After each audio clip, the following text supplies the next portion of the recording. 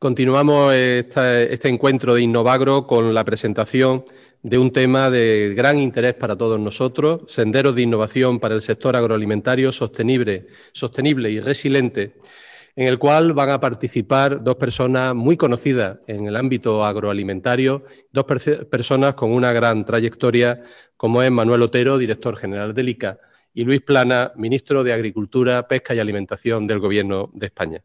Manuel Otero, como saben, es, veterinario, es un buen colega de la rama veterinaria y máster, además, bueno, por las universidades de Londres y por la, por la Universidad o máster en el Centro Agronómico Tropical y de Investigación y Enseñanza con sede en Costa Rica. Eh, Manuel Otero eh, empezó su andadura dependiendo fue consejero agrícola dependiente de la Secretaría de Agricultura de Argentina, con sede en Washington, y también fue vicepresidente del INTA, del Instituto Nacional de Tecnología Agropecuaria, y en 1988 comienza su trayectoria en el ICA.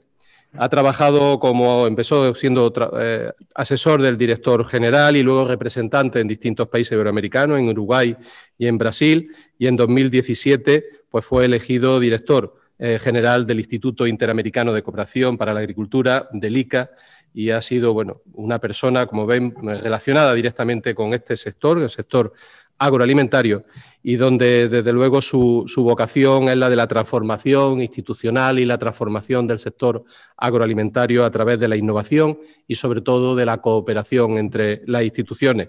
Eh, principios y valores que comparte con nuestro ministro, con Luis Plana, una persona de amplia, amplia trayectoria política, de amplia trayectoria en, la representación eh, en nuestro país. Fue eh, el licenciado en Derecho inspector de Trabajo y de la Seguridad Social y ya desde 1982 fue diputado a Cortes eh, por la ciudad de Córdoba, aunque no es cordobés eh, todos los cordobeses lo consideramos cordobés y él eh, en el corazón se siente, estoy convencido que también cordobés y como les digo ha tenido una amplísima trayectoria en la política. Española, ha sido protagonista de muchísimos momentos claves de, de, nuestra vida más reciente, de nuestra historia democrática, como fue miembro de la ponencia de seguimiento en la negociación de la adhesión a las comunidades europeas y ponente de la ratificación del acuerdo diputado en el Parlamento Europeo, consejero de Agricultura, Pesca de la Junta de Andalucía en dos ocasiones, con lo cual eh, conoce perfectamente nuestro sector y entre medias, bueno, pues ha tenido, como les digo, una amplia y dilatada trayectoria tanto en la Unión Europea como también embajador en, en Marruecos. Y desde el año 2018 es ministro de Agricultura, de Pesca y Alimentación del Gobierno de España como les decía, dos personas con una amplia trayectoria en el sector agroalimentario, muy comprometidos con este sector agroalimentario y que creen que en la cooperación y en la innovación pues está la clave, está la clave del éxito. Y ya me dirijo directamente a vosotros, querido amigo, querido Manuel y querido Luis. Y comienzo planteándoos que en el diálogo sobre el sector agropecuario que convocó eh, hace recientemente el ICA, se concluyó que durante la crisis de la pandemia de la COVID-19 la agricultura y la cadena de suministro se había mostrado resiliente y flexible para ajustarse a los cambios de la demanda y a la producción y el procesado de los alimentos y que no se habían visto especialmente afectados. Es decir, que el sistema había aguantado suficientemente y había sabido suministrar y cubrir las necesidades eh, de la sociedad. ¿Estáis de acuerdo con esta apreciación de que así ha sido, que de verdad el sector agroalimentario ha sido resiliente y flexible? Y eso de forma concreta en la COVID, pero de forma general, ante las distintas crisis económicas con las que hemos ido pasando, ¿cómo veis el papel del sector agroalimentario ante las distintas crisis? ¿Cómo ha sido su respuesta? Y no solamente su respuesta, sino su papel a la hora de salvar estas situaciones, e insisto, de forma concreta en la COVID, pero de forma general, en, de forma general en, en todas las crisis que, por desgracia, hemos ido viviendo en, los últimos años. Sí, como queráis. Bueno, eh, si te parece, muchas gracias primero por la, por la amable presentación y también por la introducción a este diálogo que con mi buen amigo Manuel Lotero vamos a mantener esa tarde en el marco de este décimo encuentro Innovagro. Creo que es muy interesante lo que, lo que vamos a discutir y efectivamente yo creo que el planteamiento de inicio no puede ser mejor. Y recientemente tuve ocasión también con Manuel de tener una conversación similar a esta y sobre unos términos de referencia muy parecidos y coincidíamos en un elemento que yo creo que es fundamental. Soy el ministro de Agricultura de España, por tanto mi visión es lógicamente española, pero también lo es de la Unión Europea y con una visión internacional que me da eh, precisamente los intercambios que hemos mantenido en el marco del G20 durante las últimas semanas, los últimos meses, en relación con esta crisis y con su desarrollo futuro. Y efectivamente yo creo que los términos en que se planteaba la cuestión son absolutamente correctos. Eh, la cadena alimentaria ha funcionado muy bien, ha funcionado muy bien suministrando en cantidad, calidad y precio eh, alimentos y bebidas al conjunto de la población. Yo creo que este tema es una realidad incontrovertible, tanto desde luego en España y en la Unión Europea, como a nivel eh, internacional, pero me quiero centrar en lo que mejor conozco. Eh, creo también que ello no es fruto de la casualidad, es fruto del trabajo acumulado, de la experiencia y yo diría que de la madurez profesional del conjunto de los actores y del conjunto de las empresas y de todos los implicados y nos eh, trae de sí, yo creo que una gran lección, ¿no? Una lección de presente, pero también una lección de futuro. Eh, lo discutíamos hace unas semanas los ministros y ministras de Agricultura de la Unión Europea en, Alemania, eh, con ocasión de la presidencia alemana semestral del Consejo, qué lecciones extraer de cara al futuro. Y yo creo que la lección relativa a la suficiencia alimentaria es evidentemente una, una gran lección para todos. ¿eh? Estamos muy preocupados de tener mascarillas, de tener respiradores, de tener aquellos objetos de necesidad para luchar contra la pandemia, pero es verdad que nuestro sector es un sector que necesita también, todos nuestros países, disponer, ya sea por producción propia o a través de los canales de abastecimiento derivados de la exportación o la importación fluida de los bienes que son necesarios para el consumo, para el consumo humano. Yo creo que esa es una, una gran lección de cara, de cara al futuro. Hay que mejorar en ese trabajo. Yo creo que, sinceramente, a nivel internacional, eh, en el seno de FAO, estamos haciendo ya algunas reflexiones sobre ello. Creo que además hemos tenido también, es verdad, algún elemento que ha jugado en nuestro favor. De los elementos principales, estoy pensando en eh, commodities como, como el trigo, como el maíz, eh, nos hemos encontrado con unos stocks eh, suficientes que han permitido el que no hubiera esa ruptura de mercado que se había producido en anteriores crisis. Yo creo que desde un punto de vista realista, esta es la situación. Y brevemente ya para concluir, por mi parte, eh, decir que al mismo tiempo que se ha sido resistente en la respuesta a la crisis, yo creo que se va a ser fuerte también y resistente en la salida de la crisis. Yo creo que el sector agroalimentario, que es un sector tradicional, yo quiero decir siempre, desde el neolítico acá, es un sector bien conocido de todos los, ciudadanos del planeta, pero que de nuevo, una vez más, es un sector de futuro. Les doy simplemente un dato indiciario, valga, valga la referencia absolutamente nacional española, pero es la mía como ministro de España. En los últimos 12 meses, eh, cerrando, la, cerrando las cifras a 30 de, junio pasado, todo el conjunto del sector se ha incrementado en un 6,3%, lo cual es realmente impresionante. Pero yo creo que es una tendencia que va a continuar en el futuro.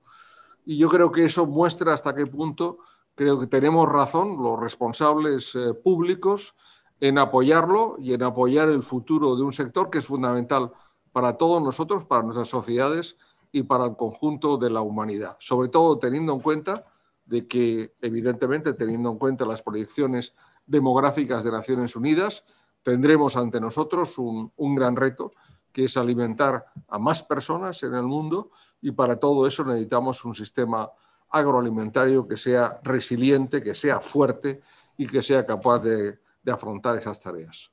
Estos son mis comentarios, abuela pluma, pero estoy convencido que estarán superados por los comentarios de Manuel a este respecto, con el cual comparto muchas de estas ideas, sin duda. Pues Manuel. querido, muchas gracias, señor rector José Carlos Gómez, colega, lo cual me llena de orgullo. Eh, quiero expresar el honor que tengo de estar participando en este diálogo una vez más. Querido ministro Luis Planas, este, me siento realmente, siento para mí que esto es un, privilegio. Desde, desde la posición que tengo como director general del ICA, yo quisiera tratar de responder a la pregunta desarrollando tres argumentos. El primero, la crisis socioeconómica en Latinoamérica y el Caribe es muy profunda. La pandemia tiene epicentro en este continente. El retroceso, el retroceso en el Producto Interno Bruto va a ser de casi el 10%. Eh, el aumento de la pobreza se va a situar en niveles de casi el 40% y 16 millones de personas no saben bien cómo se van a alimentar al día siguiente. Entonces, frente a ese cuadro desolador, quiero expresar que coincido las apreciaciones del ministro Planas en el sentido de que la agricultura en Latinoamérica y el Caribe está de pie. Como usted es rector de una gran universidad, le diría que el sector agropecuario pasó el examen eh, y ha generado, de acuerdo a su responsabilidad, una oferta de alimentos que ha estado a disposición de los 650 millones de habitantes. Eh, hay problemas, obviamente, de demandas muy fuertes, este, hay gente que ha pasado, eh, se ha quedado sin trabajo y entonces también hay que reconocer que ha caído un poco la demanda de alimentos. Este, pero entonces, querría también señalar que en el plano de las exportaciones, América Latina y el Caribe eh, sigue manteniendo una posición proactiva a tal punto que de acuerdo a las estadísticas de los últimos seis meses, mientras las exportaciones de mercancías globales han caído, las exportaciones agropecuarias han aumentado. Y esto se llama resiliencia. La situación es ideal, no, no es ideal. En, algunas, en algunos países, en algunas regiones, hay problemas de provisión de insumos, en algunos lados, en algunos lados la agricultura familiar queda aislada en sus circuitos cortos. La agricultura tiene que seguir pensando en cómo abastecer de una manera dinámica y permanente. Entonces, la situación tiene algunas luces amarillas en algunos casos, pero quiero enfatizar, estamos de pie y estamos dispuestos a dar esta gran batalla de mantener alimentando a los habitantes de nuestro continente y sobre todo manteniendo los mercados internacionales. ¿Qué va a pasar en el futuro? Yo creo que el sector agropecuario en América Latina y el Caribe tiene que internalizar las dimensiones social y ambiental. Esperamos a que las zonas rurales sean ámbitos de progreso, de generación de empleos, y acá quiero manifestar el total respaldo a los temas de bioeconomía. Sé que con el señor rector compartimos esa visión. Eh, el ICA está totalmente comprometido con este tema. También creemos en los agricultores familiares como parte de la solución y no del problema. Este, y vamos a luchar fuertemente eh, para tener sistemas agroalimentarios cada vez más resilientes, más innovadores y, por supuesto, más sostenibles. Así que muchas gracias, señor rector. Muchísimas gracias, eh, Luis, eh, Manuel. Y bueno, y es una suerte, ¿no? Pues contar con un sistema agroalimentario que ha sido capaz de, soportar, mm, soportar la crisis y además dar solución a esa crisis.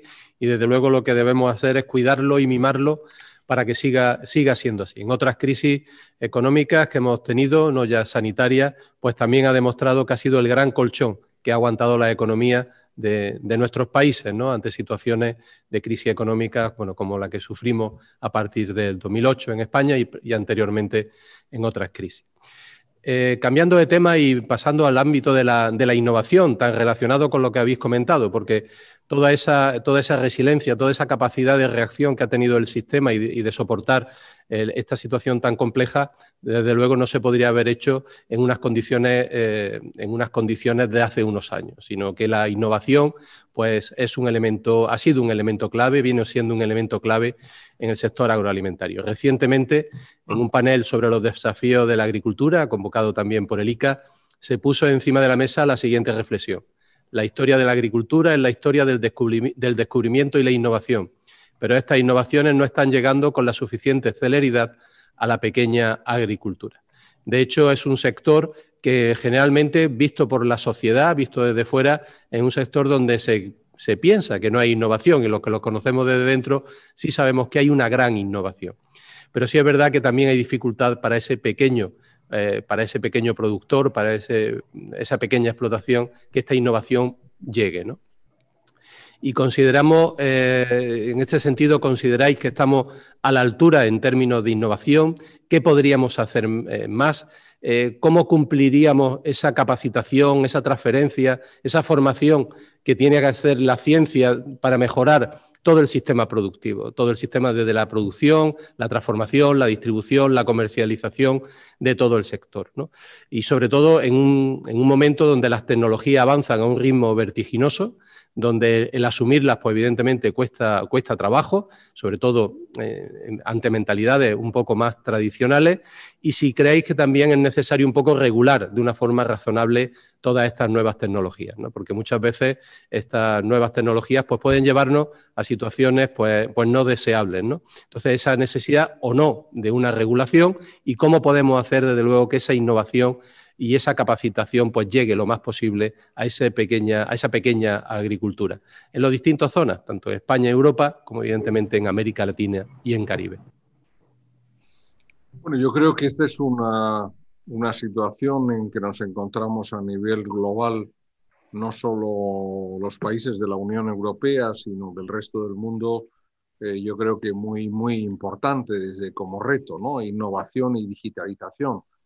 Recuerdo el pasado año, en el mes de junio, participaba en un foro con ocasión de la Asamblea, eh, la asamblea de FAO eh, relativo a la digitalización en Europa y en África, ¿no?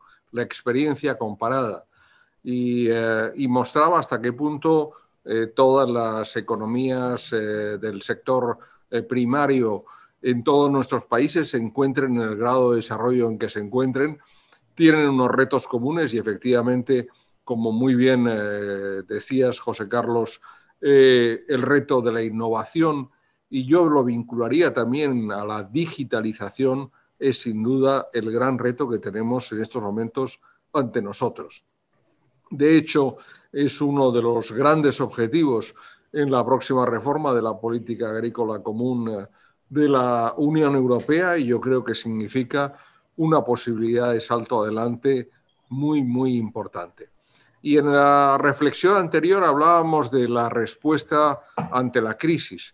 Yo creo que también aquí nos encontramos con una nueva situación, ¿no? porque los retos existían ya a principios de este año, antes del inicio de la pandemia. ¿Qué es lo que nos ha mostrado la pandemia? Nos ha mostrado que tenemos que acelerar, como tú muy bien decías, los ritmos de introducción de todas esas novedades en materia de innovación. Y como también señalabas, y estoy totalmente de acuerdo, es al menos para el entorno en que nos movemos no una realidad de futuro, sino una realidad de presente, eh, tanto por las necesidades objetivas que tenemos como por las necesidades en materia de rentabilidad, de competitividad y evidentemente de respuesta en otros ámbitos de los que creo hablaremos posteriormente en este diálogo, como por ejemplo los vinculados a la sostenibilidad. Yo creo que ahí hay, hay varios aspectos a cubrir y creo que es muy importante que los abordemos. Primero, eh, todo lo que tiene que ver con la extensión eh, de los medios digitales al conjunto de los territorios eh, rurales del conjunto del planeta. En la Unión Europea, por ejemplo, tenemos eh, el objetivo para el año 2025 de la cobertura del 100% de nuestro territorio, incluidos todos los territorios rurales, no solo los núcleos habitados, sino también las explotaciones agrarias, para a partir de ahí, lógicamente, poder disponer de un apoyo digital eh, en condiciones, yo diría que, necesarias e importantes. En segundo lugar, tenemos un problema, yo creo, de muy importante desde el punto de vista del conocimiento, del conocimiento y de la formación. La innovación y la digitalización implican necesariamente el disponer de más medios de formación. Eh, visitaba recientemente acá en Madrid una escuela, una vieja escuela de capacitación agrícola de los años 60 y 70, que hoy en día es una gran finca del Ministerio, es empleada ah, para otros usos en materia de laboratorio de regadío y otras utilidades eh, públicas. Pero ahora tenemos justamente la idea de hacer de, esta, de este lugar una plataforma desde el punto de vista de la innovación y básicamente desde el punto de vista de la transferencia del conocimiento y de la formación como muy bien se señalaba en la pregunta de, referencia de este coloquio, por la necesidad en que nos encontramos de transmitir sobre todo a los pequeños y medianos agricultores todos estos conocimientos técnicos que son absolutamente necesarios. En tercer lugar, me gustaría mencionar todo aquello que supone evidentemente la utilización de los datos como un elemento fundamental para, yo diría, para el desarrollo de lo que denominamos la agricultura de, precisión y para todo aquello que tiene que ver con el futuro del sector. Yo creo que esto es absolutamente fundamental y creo que debemos introducirlo de forma, de forma acelerada en todos los aspectos, incluido aquellos que son eh, necesarios y relativos, por ejemplo, a los procesos de formación de valor y de un mejor conocimiento de formación de los precios en los intercambios dentro del sector primario y dentro del conjunto de la cadena alimentaria. Este es uno de mis temas favoritos. Acabamos de introducir en el Parlamento una reforma de la ley de la cadena alimentaria y creo que es uno de los grandes temas que debemos afrontar en el inmediato futuro. Y un cuarto y último aspecto es la integración de esta innovación y digitalización en el ámbito específicamente empresarial, visto desde España, visto desde la Unión Europea, supone evidentemente un elemento de competitividad muy importante para nosotros. Y yo estoy convencido de que este factor, junto, como decía muy bien Manuel, antes a los factores ambientales, de los que probablemente hablemos después, pero también a los sociales y generacionales es muy importante. Me gusta siempre repetirlo. Nosotros somos gente que hemos tenido que aprender. ¿eh? No nacimos digitales, nos hicimos digitales pasando de lo analógico a lo digital, como el conjunto de la sociedad. Pero los jóvenes hoy nacen digitales. Y yo creo que también en el sector primario esta oportunidad de este relevo generacional desde el punto de vista demográfico y sociológico va íntimamente ligado a este gran reto como es el reto de la innovación y la digitalización en el sector primario. Manuel. Sí, mis aportes a esta pregunta tan interesante.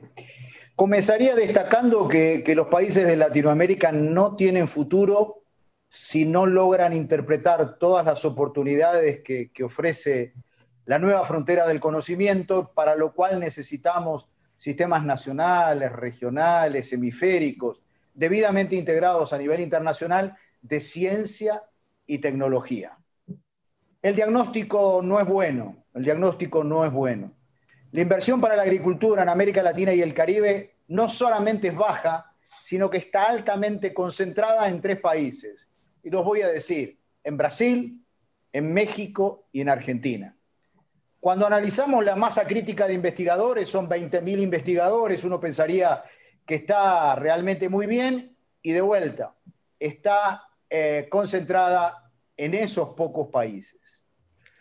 Eh, entonces la situación es, es realmente complicada porque además de eso la agenda de innovación y desarrollo apunta principalmente a los temas de la agricultura tradicional. Y acá yo valoro el esfuerzo que están haciendo algunos institutos nacionales y mecanismos regionales para entender que hay apuntar hacia una visión renovada de la agricultura.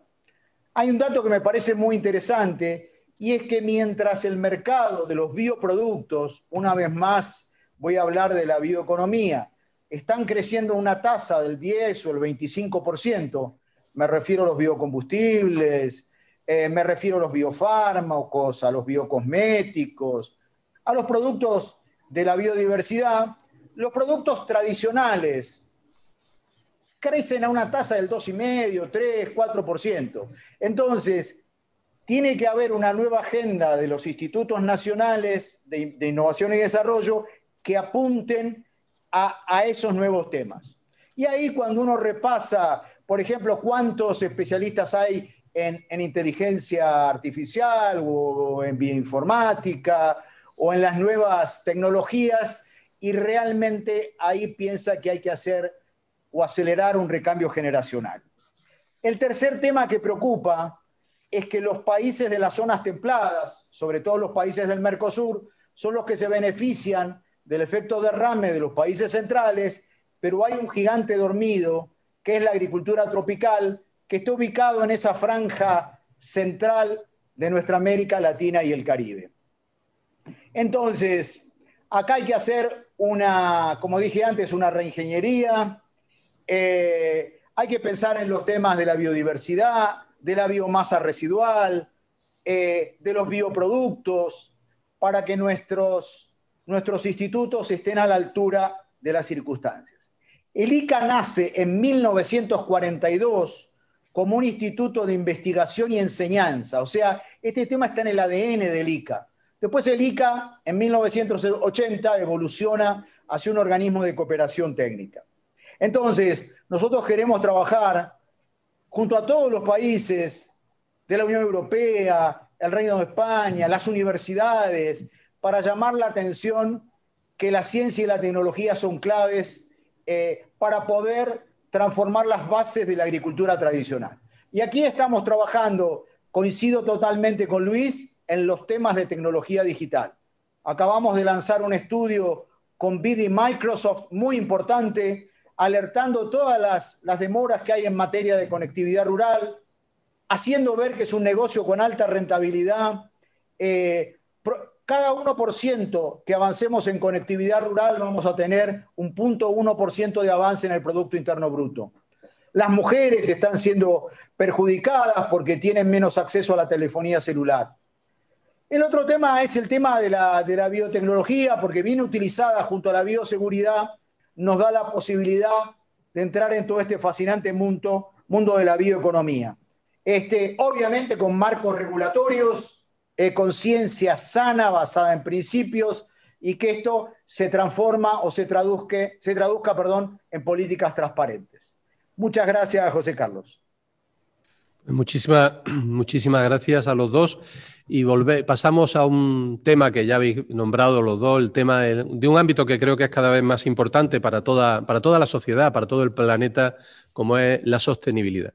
El pasado 8 de septiembre mantuvisteis una conversación sobre el reto del sector agroalimentario en la América y la cooperación horizontal post-COVID, en la que coincidisteis en que esta crisis, eh, bueno, en un amplio consenso sobre la idea de que el sector primario es, sin lugar a dudas, primario y ahí, evidentemente, juega un papel importante este sector en el, en el ámbito de la sostenibilidad. Y cuando hablamos de la sostenibilidad, no es solamente la sostenibilidad ambiental, sino una sostenibilidad general, una sostenibilidad de, la sociedad.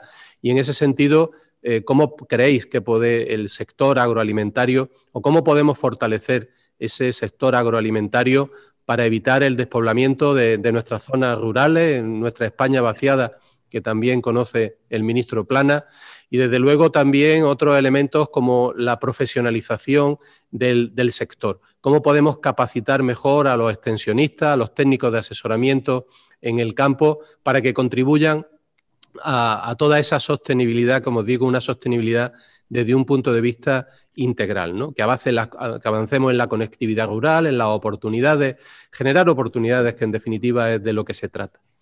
Eh, creo que entre todos tenemos que conseguir que la agricultura vuelva a ser algo que esté de moda, que sea moderno, irse, ir al campo, ir a dedicarse a la agricultura, a la ganadería. Eh, y eso es fundamental, está pasando ya en algunos países. Pero para eso, desde luego, pues es necesario también contar con recursos.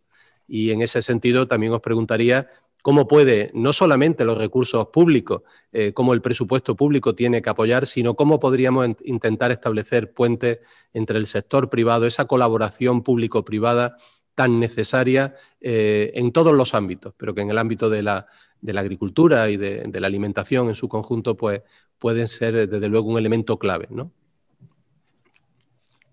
Bueno, yo creo que, la, que la, el planteamiento de ese tema de debate es, eh, es muy amplio, ¿no? Eh, lo hemos eh, ya abordado de algún modo en este diálogo hoy mismo, cuando hablábamos de los aspectos económicos y sociales de la sostenibilidad. Yo creo que siempre digo que cualquier otro objetivo está sin duda condicionado por la rentabilidad de una explotación agrícola o ganadera sin rentabilidad empresarial, que es la sostenibilidad, yo creo que básica, eh, todas las demás decaen.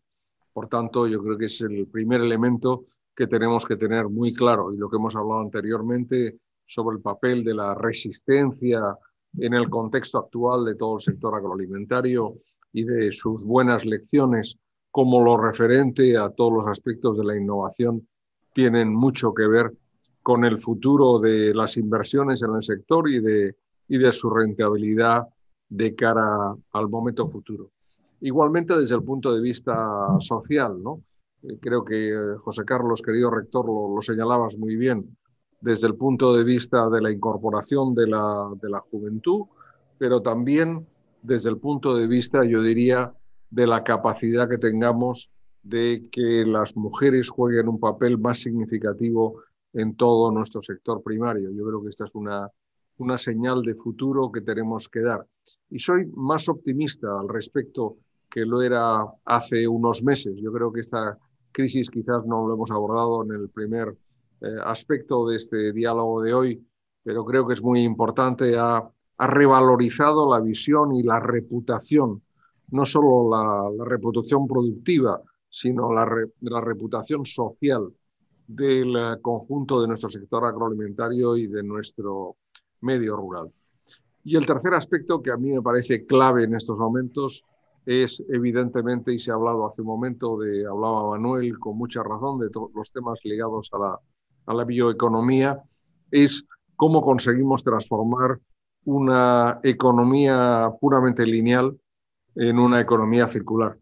Cómo conseguimos continuar produciendo más y mejor y al mismo tiempo consumimos menos medios naturales y conseguimos preservar nuestro entorno, con dos grandes retos que tenemos ante nosotros.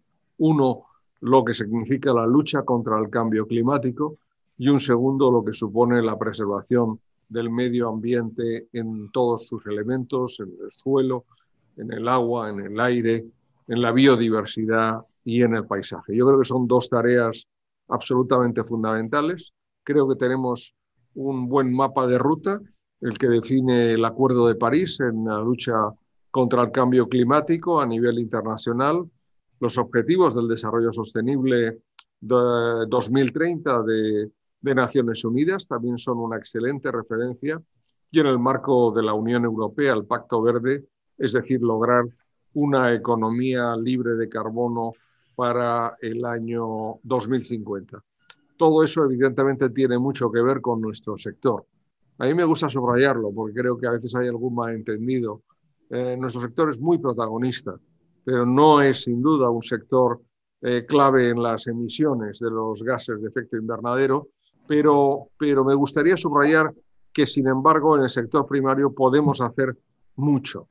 Y yo creo que esa es una de las razones de ser de la reorientación básica de la política agrícola común en el seno de la Unión Europea, que significa a través de la estrategia de la granja a la mesa, yo diría que un cambio de paradigma muy, muy importante.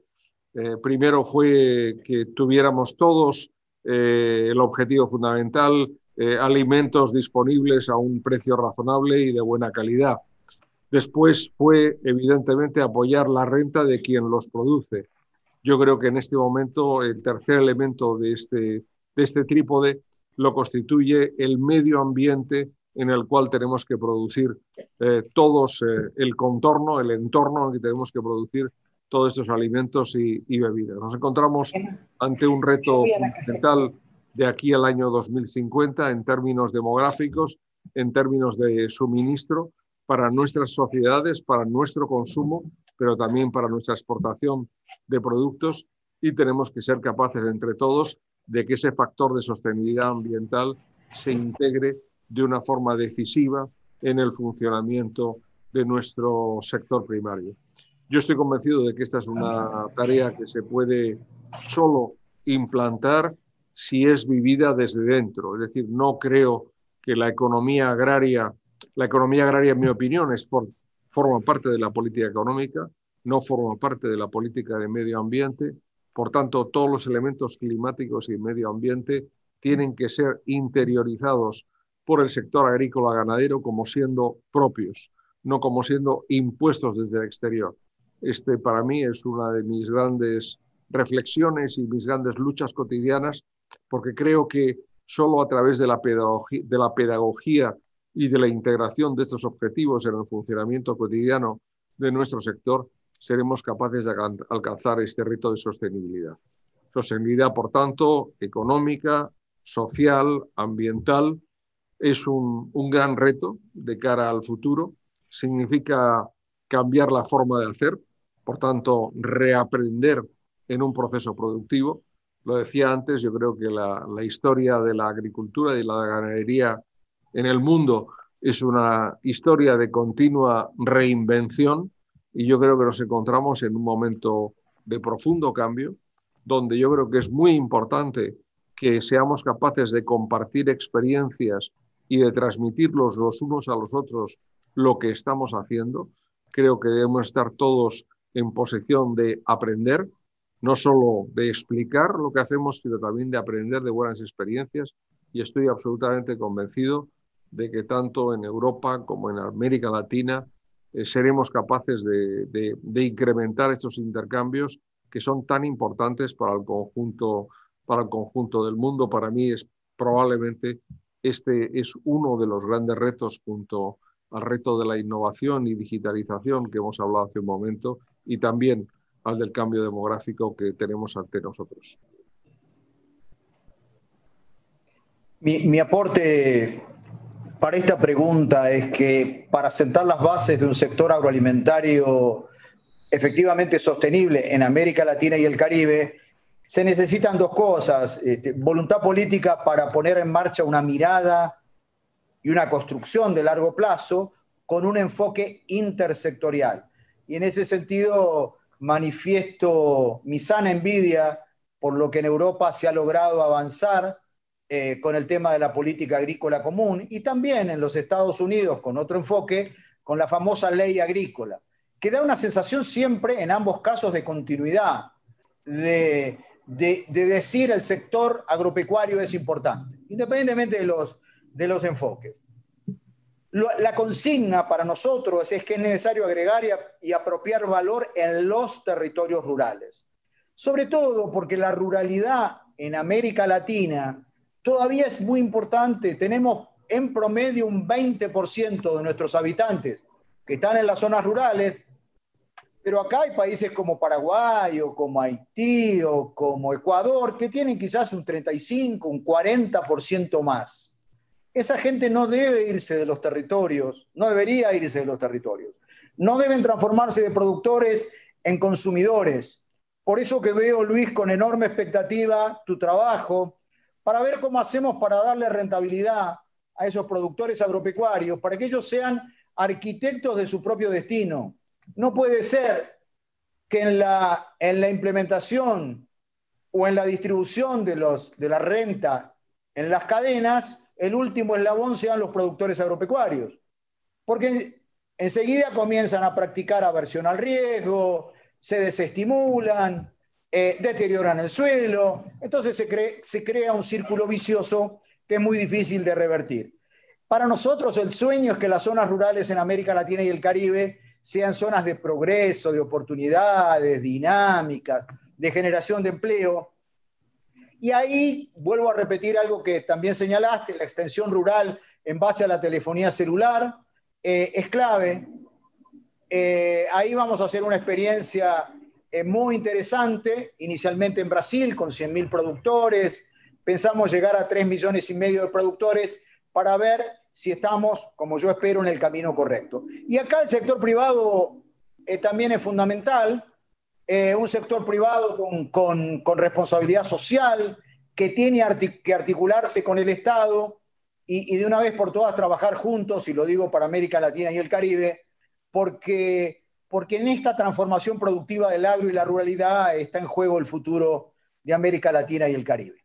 Gracias. Gracias de nuevo a los dos. Ahora puedo hablar. Muchísimas gracias de nuevo a, los dos.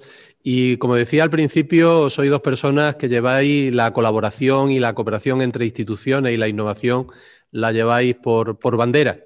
Y prueba de ello es la propia red Innovagro, una red que, nace bajo el auspicio de, del ICA, que actualmente tiene 72 miembros de distintos países iberoamericanos, de la América Latina, del Caribe y también de, y también de Europa, y también es prueba eh, una muestra de, cooperación y colaboración el propio Campus de Excelencia Internacional Agroalimentario, que, en el que participamos cinco universidades andaluzas y que lidera la Universidad de Córdoba. Y si hablamos de cooperación, si hablamos de colaboración, si hablamos de innovación, si hablamos de resiliencia, eh, ¿cómo podemos contribuir con vuestras instituciones? Eh, ¿Cómo podemos ayudar al, sector a través vuestra o, de alguna forma hacer que toda esa, eh, todo ese conocimiento que generamos y todas esas sinergias que se generan dentro de la red Innovagro y dentro de los socios de la red Innovagro, pues podamos, eh, podáis usarnos eh, para hacer un elemento transformador de ese sector agroalimentario y hacerlo desde luego pues mucho más resiliente de lo que ya es y mucho más innovador de lo que ya es y que necesitamos en ambos casos que sea. Bueno, yo creo que esa, es una gran cuestión, pero una cuestión sobre todo de un carácter tremendamente concreto, práctico, de las preguntas, por así decirlo, que a mí me gustan, quiero decir, porque contribuyen a, solucionar cosas y a dar perspectiva de trabajo, de trabajo futuro. Yo creo que en este caso el CIA 3 y, y todas las iniciativas que hay en torno a él, antes se preguntaba, no he hecho un comentario sobre el tema de la colaboración público-privada, que me parece también del diálogo anterior un elemento muy, muy importante. Yo creo que el mundo de la universidad y de la investigación, unido al mundo de la empresa y, por supuesto, a los gobiernos y a las instituciones públicas, puede sin duda jugar un papel determinante.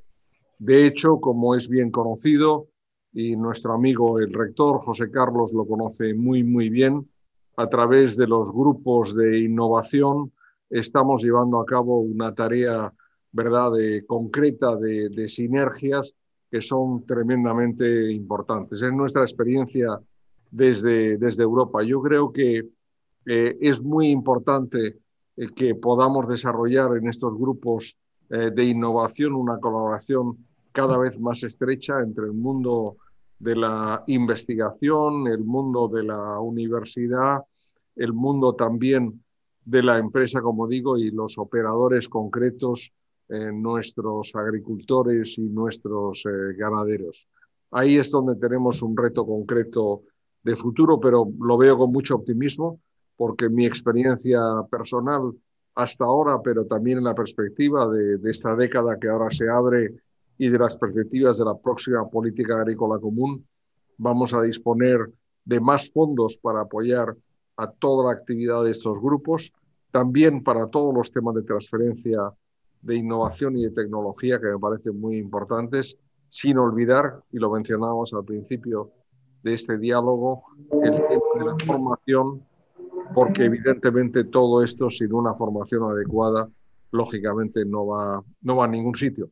Yo creo que son, son muchos temas y me gusta subrayar y aprovecho la ocasión para subrayar el, excelente ejemplo de la, de la Universidad de Córdoba, de la cual me siento personalmente muy orgulloso del conjunto de, de sus escuelas, de sus facultades, de sus centros de investigación, justamente como un ejemplo pionero en relación con otras universidades, sin duda andaluzas, españolas, europeas, en esta materia y donde yo creo que estamos haciendo un buen trabajo que debe continuar de cara, de cara al futuro. Y yo quisiera también, y sé que lo estamos haciendo, evidentemente, en el marco y bajo el paraguas de, de ICA, en que contribuyamos, querido Manuel, de un lado y otro del Atlántico para colaborar en hacer esta experiencia una experiencia y un trabajo que sea recíproco y de mutuo interés, ¿eh? porque creo que para vosotros es muy interesante lo que estamos haciendo aquí,